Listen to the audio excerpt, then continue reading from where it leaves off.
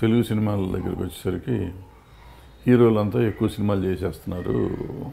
మనకి ప్రస్తుతం టాపిక్ ఏదో ఒకటి కావాలి. అంటే నాలాగా ఇటు మాట్లాడే వాళ్ళకి కానీ లేకపోతే మీడియా టీవీ ఛానల్స్ కానీ లేదంటే పేపర్కి కానీ ఎవరికైనా ఏదో ఒక న్యూస్ చేసుకోవాలి అనే దాని మీద ఏదో ఒకటి రాస్తూ ఉంటాం. పవన్ కళ్యాణ్ గారు చిరంజీవి గారు బాలకృష్ణ గారు రాజకీయాల్లో ఉన్నారు కాబట్టి ఈ సినిమా సంవత్సరంలో సంవత్సరంన్నర ఈ మా టూ థౌజండ్ నైన్టీన్ లోపల మూడు మూడు సినిమాలు చేసేసి ఎలక్షన్కి ఇంజనీరింగ్ ఎలక్షనీరింగ్కి వెళ్ళిపోతున్నారా? ఎలక్షన్కి వెళ్ళిపోయినాక రాజకీయాల్లో పాల్గొన్న తర్వాత మంత్రిత్వం కానీ ఎటువంటి తన గవర్నమెంట్లో పార్టిసిపేట్ చేయబోతున్నారా? అందుకని మూడు సినిమాలు చేస్తున్నారని మనకు అనుమానాలు. గవర్నమెంట్లో పార్టిసిపేట్ చేసిన సినిమాలు చేయొచ్చు గవర్నమెంట్లో చేయకపోయినా సినిమాలు చేయొచ్చు. సినిమా కెరియర్కి పాలిటిక్స్కి సంబంధం ఏమీ లేదు. అని మనకి తెలిసిపోయింది. సినిమాల్లో సూపర్ స్టార్లు రాజకీయాల్లో ఫ్లాప్ అవ్వచ్చు. రాజకీయాల్లో ఫ్లాప్ అయిన వాళ్ళు మళ్ళీ తెలుగులో మీన్ సినిమాల్లో సూపర్ స్టార్లుగానే ఉండొచ్చు. సో దానికి దీనికి సంబంధం లేదు. రాజకీయం రాజకీయమే సినిమా సినిమానే. అందుకని రాజకీయం కోసం గబ్బాల నీళ్ళు మూడు సినిమాలు చేసేసి ఏదో టూ థౌజండ్ నైన్టీన్ తర్వాత రాజకీయాల్లోకి వచ్చేసి ఏదో చేసేస్తారని కాదు. మామూలుగా చిరంజీవి గారు కానీ బాలకృష్ణ గారు కానీ పవన్ కళ్యాణ్ గారు కానీ ఇంతకుముందు ఒక్కొక్కళ్ళు నాలుగు సినిమాలు ఐదు సినిమాలు చేసిన సంవత్సరాలు కూడా ఉన్నాయి. అప్పుడెప్పుడు మనం అడగల. ఎందుకు చేస్తున్నారు మీరు ఇన్ని సినిమాలు మనం అడగల?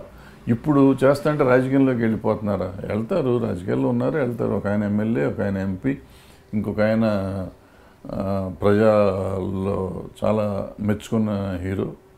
రాజకీయంగా ప్రజలు ఆయన ఫాలో అవుతున్న హీరో పవన్ కళ్యాణ్.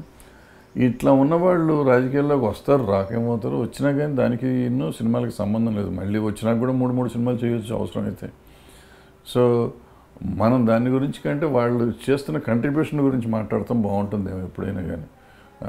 మూడు సినిమాలు చేశారా ముప్పై సినిమాలు చేశారా మనకి ఎందుకు చెప్పండి. చేస్తూనే ఉంటారు చెయ్యాలి కూడా. హీరో అన్నాక మూడు సినిమాలు చేయాలి. ఏ హీరో అయినా చేయాలి. ఫార్చునేట్గా ఇప్పుడు తెలుగు హీరోలు ఆల్మోస్ట్ అందరూ సంవత్సరానికి మూడు సినిమాలు మినిమం చేస్తున్నారు ఈ సంవత్సరం నుంచి. ఇప్పుడు ఈ మధ్యకాలంలో నేను చాలా సినిమాలు చూస్తున్నాను అదర్ లాంగ్వేజ్ సినిమాలు చూస్తున్నాను సినిమా మేకింగ్ ప్రాసెస్ మారిపోయినాయి. స్టే స్టైల్ ఆఫ్ మేకింగ్ సినిమాలు మారిపోయినాయి. అన్ఫార్చునేట్గా మన తెలుగులో ఇంకా అంత స్టైలిష్గా కానీ అంత డిఫరెంట్గా ఫిలిమ్స్ ఆలోచించే జనం రాట్లా. చాలా ఈ మధ్య పెళ్ళి సందడి కానీ ఇట లేటెస్ట్ కొన్ని సినిమాలు మార్పు వస్తున్నాయి. బట్ అదర్ లాంగ్వేజెస్లో తమిళ్ళో కానీ మలయాళంలో కానీ ఈవెన్ కన్నడలో కానీ వాళ్ళు అసలు ఆలోచన ఏమి చేస్తున్నారు ఇది కథలు అంటే ఏమిటి అనేది మనకు అర్థం కాని పరిస్థితుల్లో ఆలోచిస్తున్నారు వాళ్ళు. మన జనరేషన్ కూడా ఈ కొంచెం తెలుగు సినిమాలకు కాకుండా ఇతర లాంగ్వేజ్ సినిమాలుకి కూడా ఎక్స్పోజ్ అయ్యి ఇంటర్నేషనల్ సినిమాకి కూడా ఎక్స్పోజ్ అయ్యి తెలుగు సినిమాకి కూడా మేకింగ్ స్టైల్ మార్చగలిగితే బాగుంటుంది.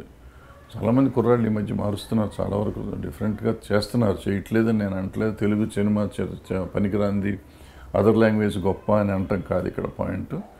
బట్ మనం ఇంకొక స్థాయికి తీసుకెళ్ళాల్సిన అవసరం తెలుగు సినిమా. తెలుగు సినిమా ఒకప్పుడు అసలు తెలుగు సినిమానే నెంబర్ వన్ స్థాయిలో ఉండే తెలుగు సినిమా చాలా వెనక్కి పడిపోయింది. ఇప్పుడు మళ్ళీ మార్ మార్పు వస్తుంది. మార్పు వస్తున్న యువతలో ఇంకా మార్పు తీసుకురావాల్సిన అవసరం ఉంది. తెస్తారనుకుంటున్నాం. మోడీ గారి విజయంలాగా తెలుగు సినిమా కూడా అంత గొప్ప విజయం సాధిస్తుందని. టూ థౌజండ్ నైన్టీన్ మోడీ గారు మళ్ళీ ప్రధానమంత్రి అయ్యే లోపల తెలుగు సినిమాకు కూడా అంత వైభవాన్ని ప్రాభవాన్ని తెస్తారు మన కుర్రాళ్ళంతా అని ఆశిస్తున్నాను. Thank you bye.